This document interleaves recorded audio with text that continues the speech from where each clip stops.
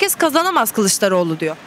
Kazanır, fark dağıtar. HDP eşittir PKK. Ben emekli Türk assubayıyım. Ben Güneydoğu'da askerlik yaptım Hakkari'de.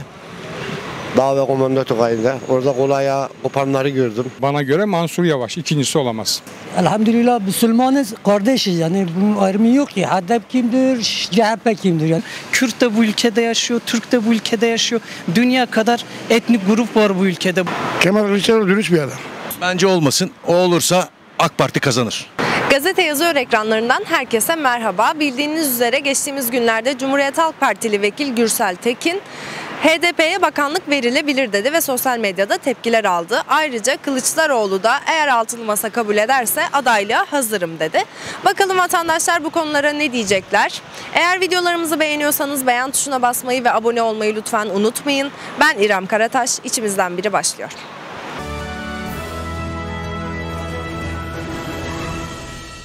Hazır mısın? Ee, Cumhuriyet Halk Partili vekil Gürsel Tekin dedi ki HDP'ye bakanlık verilebilir Cumhuriyet Halk Partisi iktidarında. Ne düşünüyorsunuz? Asla olamaz ya ben kesinlikle kabul etmem. Ve Ben olsam kabul etmem. Peki şu an mecliste HDP'li vekillerin bulunmasına ne diyorsunuz? Ona da hayır diyorum. Ee, CHP'li vekil Gürsel Tekin HDP'ye bakanlık verilebilir dedi ve çok tepki aldı. Ne düşünüyorsunuz? Alınan verilen tepkiler haklı. Yani HDP eşittir PKK. Ben emekli Türk assubayıyım. Yani tepkilerde halkımız yerden göğe kadar haklı. CHP'nin böyle bir yaklaşımı olmamalı. Eğer Atatürk'ün kurduğu bir parti ise. HDP'ye bakanlık verirse mecliste ne arıyorlar? O zaman meclisten çıkarsınlar. Nasıl Bu yani? adamlar seçimle gelmişler oraya. E, ne hakkı varsa o hakları kullanmak zorundalar. Verilmeli yani. E tabii ki canım milletvekili olduktan sonra bakanlık niye verilmez? Bence açıkçası hani HDP'nin mecliste yeri yok. Neden? Neden? Çünkü azınlık. Bir de hani eee, maalesef terörle fazlasıyla ilgili bir parti. Azınlıklar mecliste temsil edilmemeli mi? Azınlıklar eee, mecliste temsil edilmeli ama iş- işin doğrusunu isterseniz ne kadar azınlık, ne kadar bölünmüşlük olursa o zaman gayri ihtiyari oylar bölünüyor.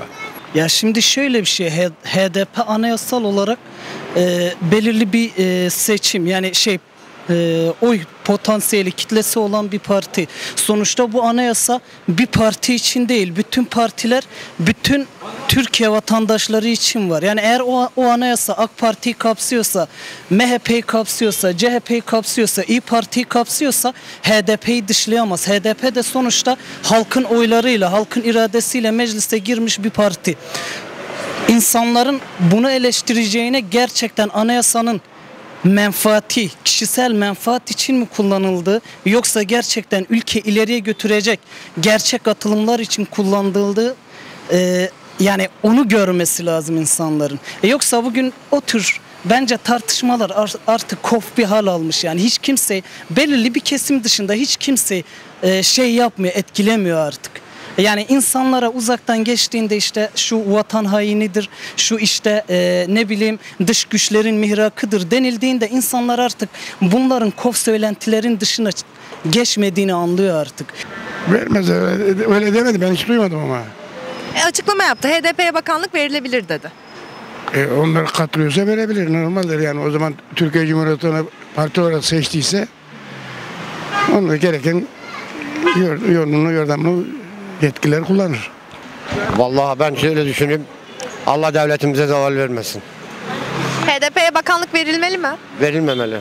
Neden? Bayağı verilmemeli. Ne sebeple? Ben Güneydoğu'da askerlik yaptım Hakkari'de. Dağ ve komando tugayında. Orada kolaya kopanları gördüm. Hastanede bir hafta yattım. Niye veriliyor ki vatanı millete? Türk bayrağı altında yaşayıp da millete verilir mi bakanlık? Ya ben milliyetçi bir insanım. Ben karşıyım. Terör örgütü yandaşı oldukları için pek tasnif etmiyorum. Mecliste olmalarını da tasnif etmiyorum. Peki. Bu ülkenin askerine kurşun sıkan insanların bence yani bizim vergilerimizle maaş almaya veya e, herhangi bir yönetici kurumda olmaya hakkı yok. Benim gözüm, benim görüşüm bu şekilde. Şu an insanlar bunu bile düşünmüyor ki. Ekonomiyi düşüyor yani. Bin liralık ev olmuş 5 bin, 10 bin. Yapacak bir şey yok. Ben de ev aramaktan geliyorum ama yok bulamıyoruz. Yani insanlar bir tuhaf olmuş. Müslümanlık çıkmış gitmiş gibi bir şey olmuş yani.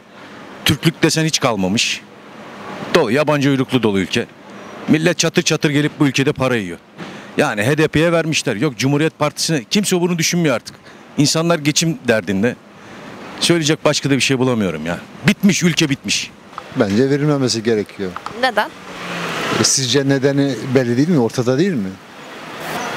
Siz konuşun abi beni konuşturmayın. Diyorum ki yani o görüyorsunuz yani her gün e, askerler olsun bu vatan haini yani direktmen e, onu diyelim yani vatan hainlerine nasıl vekillik verilecek? Peki neden bunca senedir mecliste? Bakan değil ama milletvekili olarak görev yapıyorlar. Yani şimdi seçilmiş e, ama nasıl seçilmiş, nasıl yapılmış bilemem. Valla onu bilmiyorum ama şey e, gerçekten zor durumdayız yani maddi olarak. Yani ne olacak? Her gün zam yani artık her saat zam geliyor. Böyle bir şey gerçekten artık yorulduk yani. E, yol paramızı da artık gerçekten yani düşünüyor ol- olduk artık. Yani e, gerçekten bu duruma bir el atılması lazım. Bir haksızlıktır o. Sonuçta bir halkın vekilidir. Tutuklanamaz. Bir halk- Yok tutuklanma yok şu anda. HDP'ye bakanlık verilebilir dedi Cumhuriyet Halk Partisi vekili ama tepki aldı. Evet, tepki aldı. Yanlış, o da yanlış bir şey. Hani sonuçta e, HDP'de bir halkın iradesidir. Yani bir halkın e, seçtiği vekildir. Yani bir iradedir sonuçta. Bakanlık verilmeli mi? Verilmeli. Şimdi şöyle diyeyim ben size. HDP bugüne kadar bu ülkede parti değil miydi? Partiydi doğru mu? Başka söylenecek bir şey var mı? Yoktur.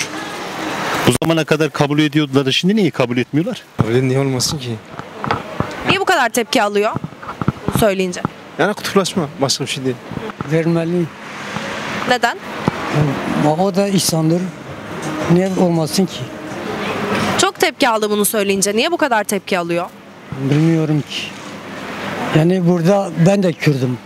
Şimdi ben şimdi bugüne kadar ha HDP veriyorum.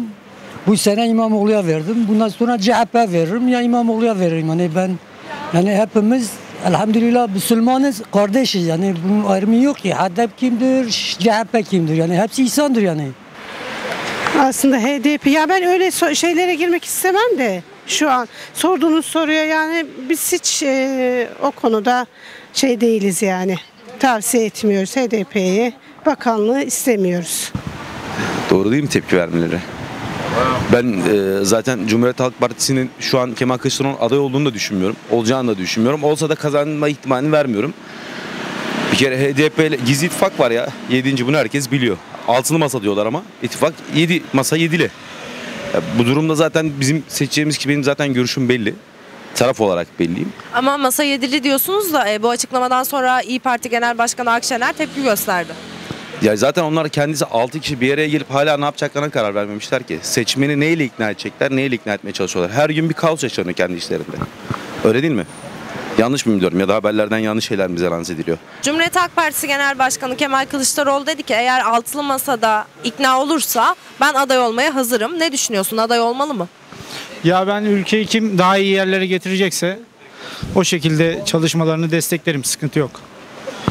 İktidar değişmeli mi peki? Ya şu anki ekonomiye bakılırsa değişmeli. Kesinlikle değişmeli. Var mı bir adayın? Benim bir adayım yok. Aday çıkarıyorlar biz seçiyoruz. Hangisi Biz çıkaralım bu sefer adayı. hangisi yakın olursa ona veririm oyumu. Olsun bakalım bir de bu altılı masada ne olacak, ne edecek bir de onu görelim. Şu anda bak ekonomiyi görüyoruz. Ekonomi şu anda berbat halde. Ben esnafım burada.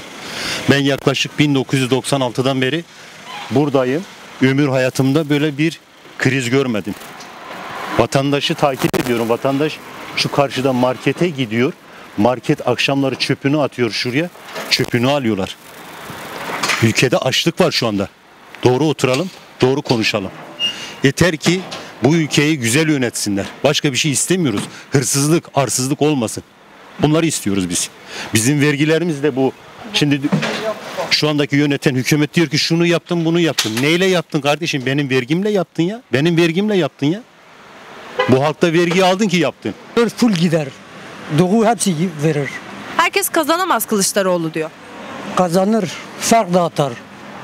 Doğu hepsi Kılıçdaroğlu'ya verir. Doğu. Ha. Neden Doğu'da Kılıçdaroğlu çok mu seviliyor? Hepsi verir yani o olsa İmamoğlu olsa full gider yani. Hepimiz vereceğiz yani imkanı yok. Ama Türkiye'nin hali görüyorsunuz işte. E olabilir. Niye olmasın? Sizin var mı bir adayınız seçim için? HDP'ye şey yapmıyoruz, istemiyoruz yani HDP bakanlık verilmesin. Reisin işine gelir. Bence aday olsun. Reisin işine gelir. Sizce kim kazanmalı? Kesinlikle şu anki yönetim aynı şekilde devam etmeli. Bunlar yaparsa bu yapar. Başkası yapamaz zaten. Peki HDP'ye bakanlık verilmesini eleştirdiniz. HDP hangi siyasi parti döneminde meclise girdi? Bunun bu siyasi dönemde gelmiş olabilir ama bunu çıkartan kişi bu senenin ya da 10 senenin 15 senenin öncesi vakalar değil ki bunlar. Bu 30 senelik 40 senelik mevzu bu. HDP hariç olabilir. HDP'nin dahilinde bir altılı masaya zannetmiyorum. Hiçbir partinin altyapısının tabanının oy verebileceğini düşünmüyorum.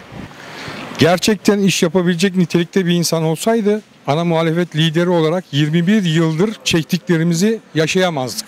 O yüzden bence makbul olmamalı. Peki Kemal Kılıçdaroğlu altılı masa kabul ederse ben aday olurum diyor. Ne düşünüyorsunuz? Büyük memnuniyet duyarız. Şimdi Türkiye'de maalesef en kötü taraf şu. Türkiye'de etiket siyaseti var. Yani Kemal Kılıçdaroğlu bürokrasiden gelmez bir insan. Ben gerçekten faydası olacağını düşünüyorum. Ama şimdi e, Türkiye'de en kötü taraf ilk başta da söylediğim gibi etiket siyasetçiliği var. Yani Alevi olması da anlı bir e, art niyet olarak kullanılıyor, eleştiriler olarak kullanılıyor. Yani inşallah insanlarımız artık dini inançları, etnik kökenleri, milliyetçiliği bir tarafa bırakıp gerçek demokrasiye ulaşmak için icraatlara, ilkelere bakmalı yani bakarlar inşallah. Benim tek temennim o yani. Kürt de bu ülkede yaşıyor, Türk de bu ülkede yaşıyor. Dünya kadar etnik grup var bu ülkede. Bu bu ülke, bu topraklar Osmanlı İmparatorluğu'nun e, dağıldığı topraklar buranın çiçek motifleri gibi halı motifleri gibi herkes kucaklaması lazım. Yani siz bütün bir ülkeyi sadece bir milliyetçilik üzerine kurarsanız bu ülke ileriye gitmez yani. Şey gördük yani e, İkinci Dünya Savaşı'nda Almanya'yı gördük. Ne oldu yani? Kocaman ülke adam çıktı dedi ki bin sene dağılmayacak bir ülke bıraktım dedi. Bir sene geçmedi Berlin'e kadar kaybettiler arkadaş. insanları gerçek demokrasiyle tanıştıracaksın. Gerçek sosyal devleti kuracaksın. Ondan sonra zaten insanlar ülkenin ileriye gitmesi için elinden geleni yapacak. Bugün kaçmak zorunda kalmayacak ülkeden. Güzel. Ha- Kemal Kılıçdaroğlu dürüst bir adam. Ondan hiçbir cacık olmaz. Neden? Hiçbir cacık olmaz ondan. Mustafa Kemal'in yeri arkasından gitmiyor. Düzgün yapmıyor. Biz de CHP kökenliyik. Bence olmasın. O olursa AK Parti kazanır. da götüremez. Valla ben kendi fikrimi söylüyorum. Orada 6 kişiden zannetmiyorum. Daha bir tane şeyi seçemediler 3 senedir. Kendi aralarında anlaşamadı. O diyor ben olabilirim, o diyor ben olabilirim. Yarın diyelim ki koalisyon olur. Ne yapacaklar? 6 kişi ne yapacak? O diyecek ben oraya istiyorum, o diyor ben oraya istiyorum. O diyecek ben şu milletvekilini istiyorum. Ee, o zaman HDP diyecek ki ben burayı istiyorum. Peki e, HDP hangi e, siyasi parti döneminde meclise girdi? Ee, şey, AK, şey, AK Parti'nin zamanında girdi. O zaman neden karşı çıkmadınız meclise girmelerine? Ben şimdi çıkmaya derken ben zaten karşıyım. Ben ne yapabilirim ki? Ben sadece bir tane oyun var. Seçim için bir adayınız var mı? Ya benim için şöyle bir şey diyeyim. Seçim için adayım tabii ki ben e, Mansur Yavaş'ı e, benim kafamda geçiyor. Bu ülke için Cumhurbaşkanı adayı olmasını çok istiyorum. Kemal Kılıçdaroğlu olmamalı. Ya Mansur Yavaş ya da Ekrem İmamoğlu. Artık onlara yer vermesi gerekiyor. Reis, reis de yola devam. Yaparsa yapar. Tabii ki Tayyip Erdoğan.